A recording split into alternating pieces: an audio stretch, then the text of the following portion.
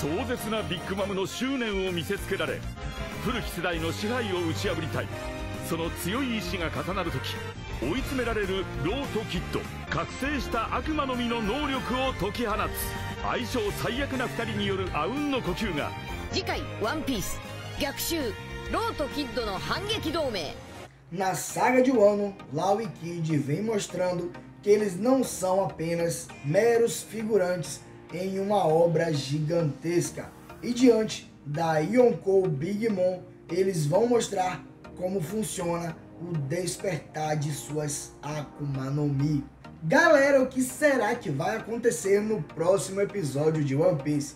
Como vocês podem ver, a prévia do episódio 1056 tá rolando no plano de fundo aí atrás e é sobre esse episódio que vamos falar agora. Então já deixa esse likezão aí, se inscreve no canal se é novo por aqui, porque como aqui é sem enrolação, eu já vou falar sobre isso agora. Como vocês viram aí na prévia, o episódio 1056 será praticamente todo focado na batalha de Lau e Kid contra Big Mom. Agora, será que eles vão adaptar mais alguma coisa? Eu acredito que sim. Isso pelo fato do capítulo 1030 e 1031 ter apenas 8 páginas restando para serem adaptadas dessa batalha de Lau e Kid contra Big Mom. Então eu acredito que a Toei deve preencher o episódio com mais três ou quatro páginas do mangá. Agora, o que poderia ser adaptado no próximo capítulo? Beleza, dá para você tirar um pouco ali da cena de X-Drake e Apu conversando um com o outro, além também de Yamato chegando no local, dá para você tirar um pouquinho da cena de Momonosuke tentando parar o castelo de Onigashima e a depender se a Toei enrolar muito, eles podem trazer novamente aquela festa, aquele festival que está rolando ali no país de Wano. Então, eu não sei como a Toei vai adaptar. Eu tô com medo deles trazerem esse festival novamente, que vai acabar enrolando demais no episódio, justamente para poder segurar um pouco mais do mangá e assim atrasando bastante a chegada do Luffy Nika. Mas eu acredito que deve ser mais ou menos por aí, até porque eu já fiz um vídeo falando dos próximos episódios. E no episódio 1058 já tem o um título falando a respeito do Kazembo que Kanjuro tinha acabado de criar. Então, provavelmente o episódio 1057 não vai ser focado no Kazembo e nem na história de Orochi, até porque tinha mostrado Orochi fazendo pedido para Kanjuro criar o Kazembo, só que não explicou por que, que ele queria que Kanjuro criasse esse Kazembo. E aí, provavelmente, no episódio 1058, isso será explicado. Então deve mostrar um pouco da Cip Zero, quem sabe Nico Robin com Brook.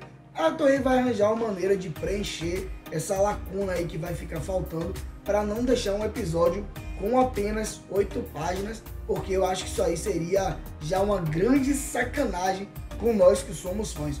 Ou então, pelo menos, que eles tragam algumas cenas mais impactantes. Por exemplo, essa cena aí no qual você pode ver um olho se abrindo eu acredito que é a cena de Big Mom, depois que ela sofre alguns golpes de Law e Kid, ela se levanta e abre os olhos dessa forma aí no qual mostra um haki, sei lá, um fogo, uma chama saindo dos seus olhos. Eu achei bastante interessante essa adaptação, então provavelmente essa batalha de Law e Kid vai chegar nessa parte, que significa que vai mostrar o despertar de Law e Kid já nesse episódio, e é a primeira parte do despertar deles. Isso mesmo.